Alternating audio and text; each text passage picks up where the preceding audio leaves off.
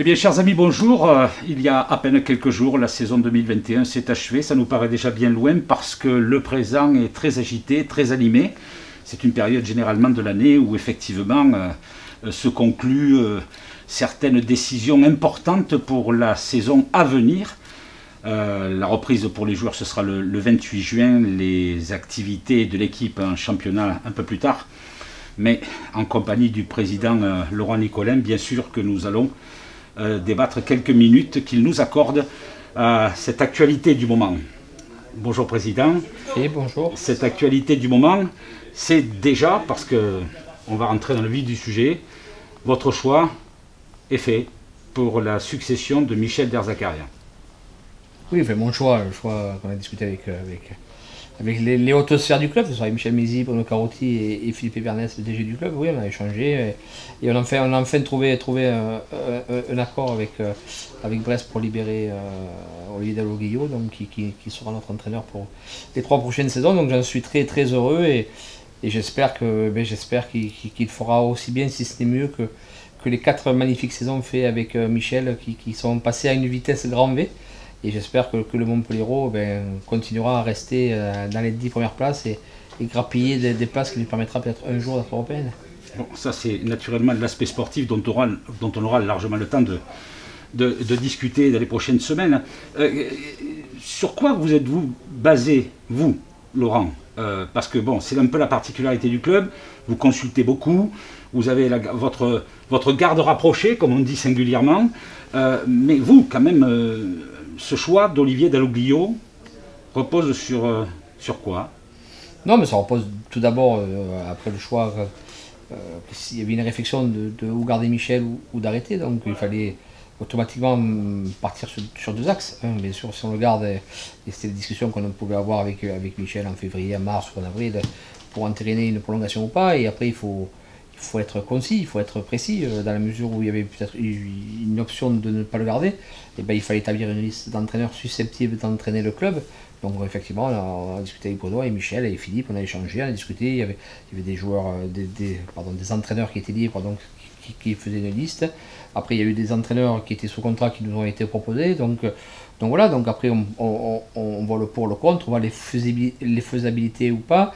On voit, tend à savoir si cet entraîneur est susceptible d'entraîner ou pas le Montpellier Et puis voilà, puis un jour, ben voilà, il fallait prendre déjà la décision de, avec Michel. Donc à partir du moment où le choix de Michel euh, et le, le, mien sont regroupés de ne pas continuer, ben, il fallait partir sur autre chose.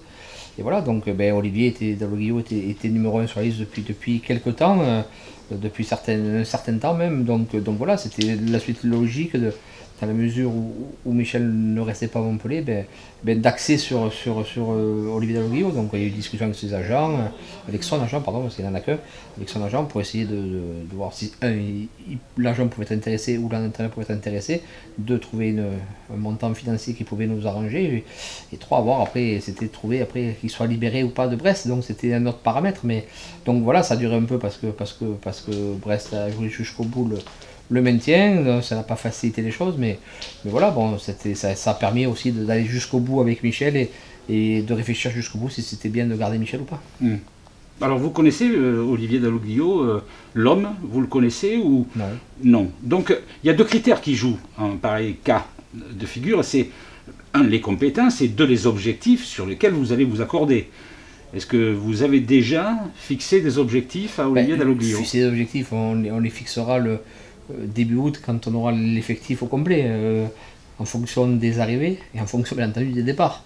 Euh, je ne vais pas dire qu'on va jouer l'Europe.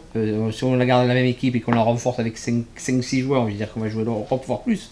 Si, si on, on, vend 2-3 joueurs et qu'on recrute un ou deux joueurs, ben, on peut-être jouera autre chose. Je sais pas, on verra en fonction de, l'effectif qu'on aura, on verra ce qu'on va jouer. Mais ce qui est sûr, c'est qu'on a l'ambition, comme j'ai dit, malgré tout, dès le départ, de, faire aussi bien que la saison dernière. Donc c'est-à-dire de terminer au moins, au moins, dans les, au moins 8 Au moins 8 Voilà. Mais ce sera. Le but, si on veut avancer, si on veut progresser, c'est de, de, chaque année de, progresser et de se fixer des objectifs, d'aller toujours ou au moins pareil, ou, plus, ou au moins plus haut de ce qu'on, a été. Mhm.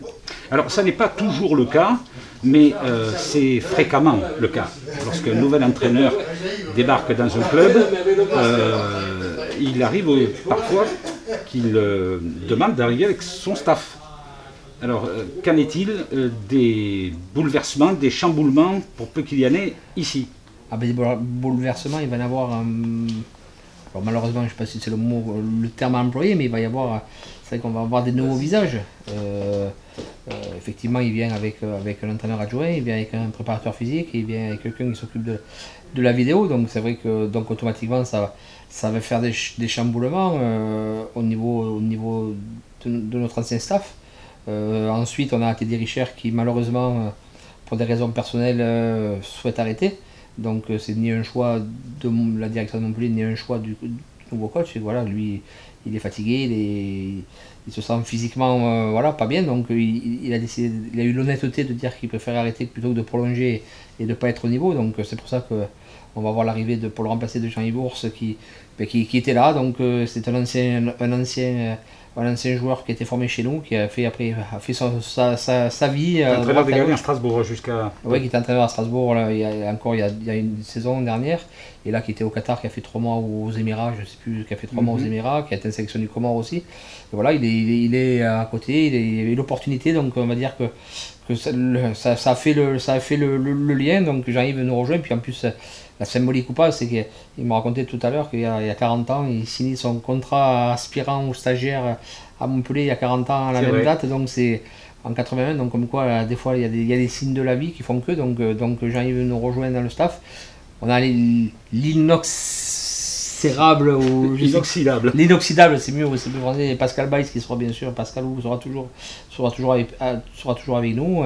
Puis après, bon, après que ce soit kiné, que ce soit le staff ne, ne bouge pas, mais voilà, mais c'est vrai qu'il va y avoir quand même quelques changements de tête. Et je profite aussi de l'occasion de, de remercier, alors je sais que c'est pas facile, Stéphane Paganelli qui a fait quand même euh, X saisons chez nous aussi euh, et qui, malheureusement euh, est en fin de contrat et que comme coach Dalloglio arrive avec un préparateur physique, nous ne pouvons pas le conserver.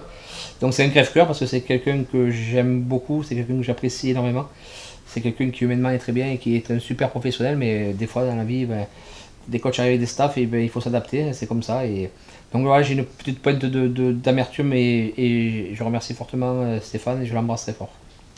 On revient sur ce que vous avez dit tout à l'heure, non pas par rapport aux objectifs, parce qu'il est un peu tôt pour en parler, mais quand même, euh, vous ne vous êtes pas retenu de dire au moins huitième, c'est-à-dire au moins aussi bien que, que la précédente saison. Ça me permet d'ailleurs de faire un, bref saut en arrière pour euh, avoir quand même votre point de vue au bilan de cette saison 2021 en quelques mots, parce que L'avenir c'est aujourd'hui et aujourd'hui c'est déjà demain, donc le passé c'est le passé.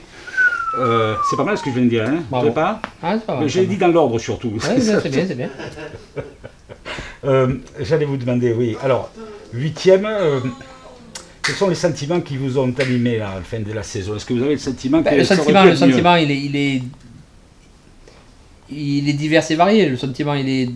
Il y a le, on se dit il y a le travail accompli parce que la saison d'avant on a fait huitième. Bon, avec le Covid, euh, c'est un peu particulier, la mm. saison est arrêtée, même si je suis persuadé qu'on aurait fait mieux.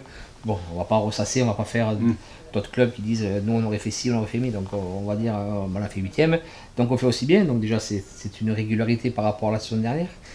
Il y a une énorme joie, mais une énorme déception avec la Coupe de France parce que parce qu'on fait une demi-finale où on perd au penalty contre le Paris Saint-Germain, mm, donc ça, c'est quand même tout à, tout à l'honneur du staff et des joueurs de, de faire redorer les couleurs pailladines euh, en Coupe de France.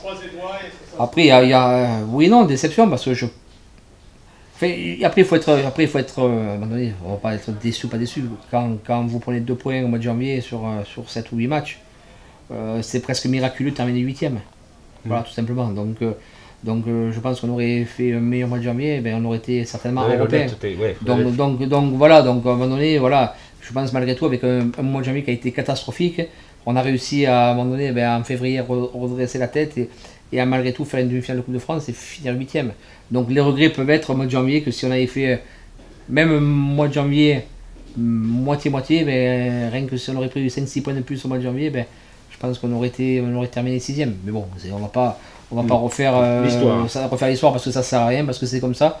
Euh, mais voilà, il faut, il faut que ça que. C'est pas de dire ah, on n'a pas gagné Angers, ah, on n'a pas battu Marseille, ah, on n'a pas.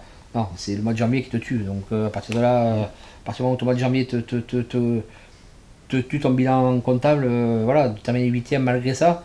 je souvenir en décembre, on avait, je crois, 7 ou 8 points d'avance sur Metz. Quand on les reçoit en janvier, qui nous battent, ben, ils, nous passent, ils reviennent. À un moment donné, en février ou en mars, ils sont, c'est eux qui ont 7 ou 8 points d'avance sur nous. Puis malgré tout, on finit la saison où on finit devant eux de, de 4 ou 5 points. Donc voilà, donc euh, une saison, ben, c'est toujours le, ce que je dis souvent, hein, euh, une saison, il faut une régularité du, premier, du premier match au mm. dernier match. Donc à partir du moment où tu n'as pas cette régularité-là, même si elle a été plus ou moins, eh ben, tu ne peux, pas, tu peux pas prétendre à jouer autre chose. Quoi, tout la régularité, euh, la régularité, effectivement, qui n'a pas été le qui a pas été le fort de, de l'équipe, c'est ça que vous êtes en train de dire Non, la régularité, elle a été par période, mais bon, quand, quand tu juste quand tu as un mois de janvier qui est catastrophique, à un moment donné, comptablement, ça te plombe. Donc, mm. Donc voilà, donc il a pas de, tu peux pas ni espérer vivre mieux ou, avoir des regrets de quoi que ce soit. Voilà, tu as eu un mois de janvier compliqué, alors que tu, même si fin décembre aussi n'a pas été terrible, mais bon, tu as, fait quand même de belles, prestations contre Lille où tu peux accrocher le match Donc voilà, donc à partir du moment où tu fais un mois de janvier comme ça, euh, ne peux pas espérer euh, jouer, jouer plus haut. Voilà. Bon, pour moi, après, ben, la seule chose y a, c'est que, les joueurs jusqu'au bout et, le groupe euh, a répondu présent jusqu'au bout, n'a jamais abandonné, n'a jamais euh, cédé et, a continué à se battre jusqu'au bout. Voilà, tout simplement. Donc c'est tout à son honneur et, et bon, c'est un peu la particularité peut-être de cette saison où on a une équipe qui, qui, était capable du meilleur comme du pire, plus du meilleur, bien entendu, et qui a marqué beaucoup de buts pour compenser peut-être le manque défensif qu'on a pu avoir. Mmh. Et qui a gagné 7 fois à l'extérieur en perdant 8 fois à domicile. Ça aussi, ça reste une des particularités de cette saison où nous terminons quand même huitième. Vous pensez sincèrement, vous faites partie de ceux qui pensent que euh, le Covid et les stades de vide auront euh, influé négativement sur les performances de l'équipe Je ne sais rien. Euh, on va dire que, alors, je vais dire, oui, ça nous a, pour faire bien, je veux dire, ça a influencé chez nous à domicile. Peut-être que le public, mm. on aurait eu peut-être des meilleurs points à domicile, mais peut-être qu'à l'extérieur, on aurait peut-être pris moins de points. Donc, ben, la seule chose qu'il faut se dire, c'est que les 19 autres équipes de Ligue 1 ont été à la même enseigne que nous et ont vécu les mêmes choses. Donc, euh, donc euh, s'il n'y avait que nous qu'on n'a eu pas de public, je dirais oui, ça nous a pénalisé. Mais on était, on était, on était quand même 19 clubs dans, la même situation, donc euh, je pense que tous les autres clubs ont aussi pénalisé, parce que le Racing Club de Strasbourg, jouant devant 30 000 à tous les matchs, aurait peut-être terminé à notre place. Donc, donc, donc voilà, oui, tout le monde, tout le monde peut dire, dire l'excuse de dire on a été pénalisé par ça. Il y a certainement des matchs à domicile où avec le public on aurait, on aurait pris plus de points et, gagné des matchs, effectivement. Mais est-ce qu'à l'extérieur on aurait fait pareil? Je ne sais pas. Donc, euh, bon, an, il faut, il faut quand même positiver. C'est quand même une belle saison euh, mm. euh, qui aurait pu être meilleure, bien entendu, mais qui aurait pu être pire comme d'autres. Hein. on sait qu'il y a d'autres champions chez nous qui, descendent en Ligue 2 et c'est, quand même pas facile. Donc, donc voilà, donc il faut pas. Soyons, soyons, on repart encore une saison en Ligue 1. On a fait une huitième place. Effectivement, on aurait pu faire mieux. On peut toujours faire mieux, mais bon. c'est pas mal. Oui, c'est pas mal. Bon, après, bien sûr, j'aurais préféré vous dire, je suis on fait les sixièmes, on fait, euh, on fait le repas conférence, euh, on va faire la Coupe d'Europe, on va aller partir euh, au fin fond dans les steppes, très bien, il n'y a pas de souci. Je serais heureux et ravi. J'espère que, honnêtement, ça va nous arriver parce que j'ai beaucoup d'ambition pour le club et j'espère qu'on va qu'on arrivera à accrocher le plus tôt possible une place européenne. Mais déjà, Soyons heureux d'être en Ligue 1, soyons heureux d'avoir un club qui, malgré la pandémie, malgré le Covid, malgré les crises financières, eh ben, est toujours là. Euh, il y a des clubs en difficulté comme les Girondins de Bordeaux. Donc voilà, donc il ne faut pas abandonner. on peut regarder ailleurs pour dire que c'est mieux ailleurs, mais bon, soyons quand même contents de ce qu'on a chez nous. Oui, surtout quand euh, vous pouvez on peut se vanter, le club, d'avoir obtenu cette année quand même, hein, malgré tout, deux titres. Hein. Vous êtes champion de France des pelouses. Ah, super. Et, ouais. et vous avez récupéré le bâton de Bourbotte. Oui, ça j'ai vu ça aussi. Ah, bâton de Bourbotte, euh, euh, on. C'est un, trophée que les clubs se passent durant toute la saison en Ligue 1, etc. etc. Bon, c'est purement symbolique. Retour au présent, regardons devant, c'est toujours le même angle de vue. Et j'en profite quand même pour féliciter quand même la, service de la métropole, parce que c'est vrai que le stade et la pelouse ont été décriés pendant des années, euh, il y a encore 3 ou 4 saisons.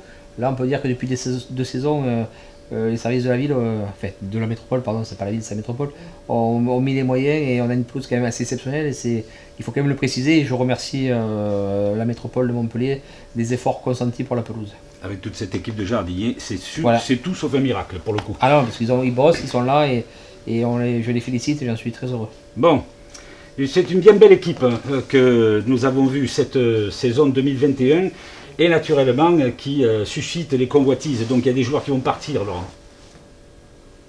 Mais ça, c'est. Euh, Philippe, c'est pas à vous que je vais apprendre. Euh. Vous anticipez tout Non, je n'anticipe pas du tout. J'essaye de, gérer un club de foot comme, comme, comme je l'ai depuis, depuis 20 ans que je suis président ou, depuis le temps que je suis président. Donc vous avez été un journaliste renommé, vous avez bourlingué sur tous les stades de France, vous connaissez le, football français et le football européen. donc vous savez que qu'un effectif est fait pour être changé et pour évoluer. Donc, donc effectivement, il y aura des départs, effectivement, il y aura des arrivées. Après, qui va partir, qui va rester, qui va venir, ça, ça on va suivre ça, l'évolution au gré du gré des, des, des pérénégrations de, de, mon service recrutement et, de moi-même. Le travail euh, en cette période est suffisamment délicat pour ne, pour ne pas rentrer à ce point dans le détail. Bien fait, vous avez des angles de travail quand même. Oui, oui, heureusement. C'est lui qui est performant, qui bosse, qui travaille et qui va anticiper tout, cas de figure de, départ éventuel et surtout de, recruter les, aux postes clés qui sont des défenseurs centraux qui, nous manquent pour, pour, pour, bâtir une équipe équilibrée. C'est ce qu'on a discuté hier avec le coach aussi et encore ce matin. Donc voilà, donc on sait, on sait, les axes de, pour faire progresser l'équipe. Malheureusement, on a, je, lui fais un petit coucou à Pedro qui, est blessé. C'est vrai que ça chamboule un peu le, programme parce que c'est vrai que on va peut-être prendre qu'un stopper, peut-être qu'on va en prendre un second au cas où, mais tu vas prendre un, un bon. Puis après, on verra petit à petit comment l'équipe va se mettre en place. On n'est que le, que le 1er juin, donc euh, la reprise c'est dans 27 jours. Euh, la reprise du championnat c'est dans 60 jours ou un peu plus, donc euh, un peu plus encore. Donc on a le temps encore de un d'être inquiété par d'éventuels départs et de, de, recruter des joueurs pour faire progresser l'équipe. Olivier Dalloglio s'est engagé pour trois saisons. Trois saisons. Trois saisons durant lesquelles vous vous allez quand même être euh, évidemment dès le début très attentif à ce qu'il va se passer parce que c'est toujours, euh, toujours, il y a toujours une part d'inconnu euh, au début. Ben, quand on ne connaît pas les gens, oui, il y a toujours une part d'inconnu. Même quand Michel est arrivé, il y a une part d'inconnu. Même si je connaissais bien Michel en dehors pour, pour l'avoir fréquenté plus jeune au club et, où, on gardait contact en dehors, mais il y a toujours, il y a toujours le rapport humain, il y a toujours le contact au quotidien qui, qui fera que. Et puis les résultats. Après, c'est les résultats qui vont sceller euh, la confiance dans le staff, qui vont sceller la confiance entre le staff, le président et les joueurs. Voilà, c'est les résultats qui, qui, qui, qui, qui soudent tout le monde. Donc euh, attendons, pour l'instant, on va pas se mettre une pression euh, maintenant. attendons le 7 août pour, pour commencer à se prendre la tête. Pour l'instant, ça va. On va, on va travailler, on va mettre des choses en place, on va, on va apprendre à se connaître, ce qui est, ce qui est déjà important.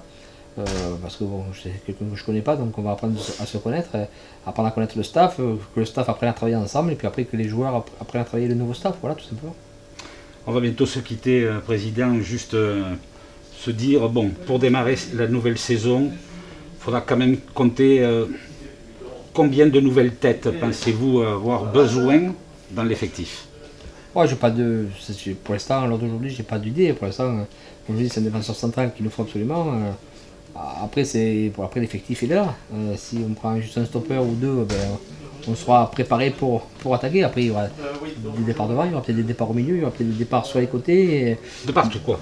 Oui, ben, ça peut partir. Donc à partir du moment où ça partira, ben, ben, si on estime qu'il faut le remplacer, le joueur on le remplacera. Si on estime qu'il ne faut pas le remplacer, euh, ou par des jeunes joueurs, ou, qu'on a l'effectif suffisant, on restera comme ça. Mais, mais on, est, on est calé quoi. Donc, euh, mais bon, tant qu'il n'y a pas de départ, il n'y aura pas d'arrivée. Huitième minimum. Ouais, mais ça, ça fait, ça fait bien de dire ça, 8 Oui, c'est, le but, c'est de toujours faire mieux. Vous n'êtes pas le premier au club à le voir dire. Non, mais le but, c'est de faire aussi, oui, c'est de faire aussi bien pour, pour se donner un challenge et, une ligne directive pour, pour le staff et les joueurs. Après, euh, c'est ce que je leur dirais quand je, dois leur parler en fin de, avant, avant, la reprise. Voilà, c'est enfin la reprise du championnat, au fin, fin juillet, au début août. Le but, il est là, oui, c'est de continuer à que le club soit respecté, soit fasse partie du top 10 français. Et après, comme je vous dis, je n'espère pas qu'un jour, enfin, on arrive, euh, on arrive à, accrocher cette place qui, même la Ligue euh, Conférence, Conférence League, moi ça me va bien. Donc, euh, ça sera toujours ça pour faire grandir, pour acquérir de l'expérience. Mais enfin bon, après d'ici là, surtout que, des jeunes joueurs progressent, rentrent dans le groupe pro, grandissent et, et voilà, qu'on continue à, être craint et que le Montpellier gagne beaucoup de, beaucoup de matchs et, et fasse continuer à faire plaisir aux gens qui les aiment un mot, un PS en fin de lettre euh, sur la section féminine du club. Mm. Nouvel entraîneur. Mm. Nous allons là entrer dans un cycle de, relance, on va dire. Mm. Bah oui, plus que de relance, ouais. Parce que la saison a été assez. Je vous laisse le dire. Non, non, la saison a été assez, compliquée et totalement hors, objectif. Donc, euh, bon, voilà, c'est comme ça. Je, je, suis très déçu pour, pour Fred Mendy parce que c'est quelqu'un que j'apprécie énormément, qui, qui, a été, qui a été un, glorieux soldat en tant que joueur, qui a été un glorieux soldat en tant qu'entraîneur, euh, qui a fait le maximum qu'il a pu avec la saison féminine. Bon, ça n'a pas marché cette saison. Donc voilà, donc il fallait, il fallait, il fallait partir sur autre chose. Donc euh, j'espère que, le nouveau coach, ben voilà, prendre l'ampleur et, et prendre conscience que le Montpellier est un club important dans dans les sections féminines françaises de football professionnel. Donc voilà, donc donc il faut, il faut l'objectif, c'est, je le répéterai, je redirai, c'est la troisième place. Voilà. Donc même si, si l'écart se tend même avec Bordeaux, euh, il y a le Paris FC qui, qui finit devant nous. Euh, j'espère qu'on, fera, qu'on terminera au moins cinquième, qui sera notre plus mauvais classement depuis, depuis 12 ou 13 saisons, mm-hmm. voire 15, enfin depuis que même pas, ça va faire je crois 20 ans bientôt, l'année prochaine je crois que la section féminine, donc ça, fait, ça sera certainement le, plus mauvais classement depuis 20 ans, donc ben, ça nous permettra de, de, nous remettre en question, de de travailler deux fois plus pour, voilà, pour, retrouver les, pour que le, club termine troisième ou quatrième la saison prochaine. Promis, c'est la dernière, Président. La saison prochaine, ce sera la saison 2021-22. 22 moins 10, 2012. On fêtera la, le dixième anniversaire du titre. Ça vous paraît loin? Ça vous paraît irrationnel? Ça vous paraît inaccessible à nouveau? Ah oui, ça paraît, ça paraît, ça paraît, oui, oui, ça paraît totalement, totalement inabordable. Maintenant, euh, donc ça, si vous voulez qu'on soit champion l'année prochaine, hein, faire comme tout le monde dit, parce que Lille a été champion cette année, il faut que nous on soit l'année prochaine comme à l'époque. Ah, mais putain, il va falloir, va falloir, va falloir envoyer du pâté hein, pour être champion, hein, mais euh, non, je sais pas, je, je, non, ça me paraît, déjà ça me paraît même toujours euh, irréel qu'on ait été champion en 2012, donc, mhm. euh, donc des fois il faut se pincer regarder les bouquins pour dire mais on l'a été quoi. non, non, terminons dans les 8 premiers et puis tout ira bien et, et puis, puis, puis voilà. Le cap est fixé. Merci beaucoup Laurent. À bientôt.